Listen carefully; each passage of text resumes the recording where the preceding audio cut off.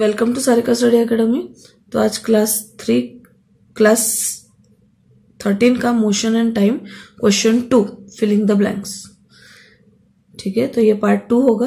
तो चलिए स्टार्ट करते हैं इस वीडियो को। द फ़र्स्ट क्वेश्चन है the distance covered by the object in unit time is called speed the time interval between two successive non moon days is called one month the time taken by the pendulum to complete one oscillation is called time period.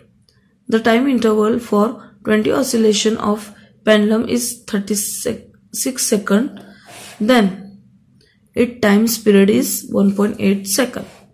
The basic unit of distance is meter. The heart of the healthy adult person throb, throb about 72 beats per minute.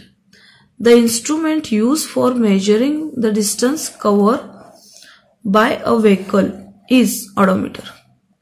The constant speed of train is 100 km per hour.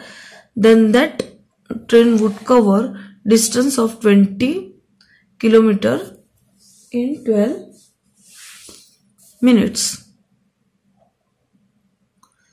Next 9. The nature of distance graph of an object in motion at constant speed is a straight line.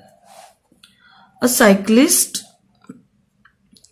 moving at the constant speed of 18 km hour covers a distance 5 meter in 1 second.